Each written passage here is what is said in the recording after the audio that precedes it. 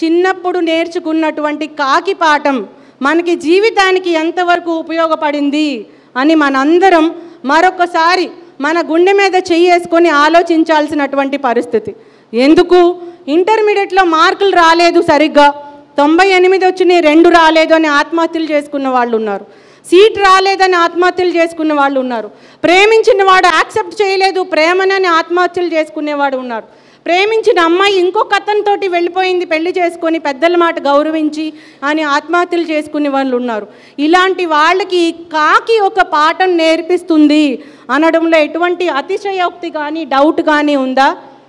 మనం అనుకున్నటువంటి కోరిక మనకు ఉన్నటువంటి కోరిక మనం పెట్టుకున్నటువంటి లక్ష్యం ఎన్ని అవరాధాలు వచ్చినా కూడా ఆఖరి నిమిషం వరకు ప్రయత్నం చేయాలి ఆ ప్రయత్నంలో సఫలీకృతం అవ్వాలి ఆ దాహం తీర్చుకొని మాత్రమే ఆ ప్లేస్ నుంచి వెనకడుగు వేయాలి.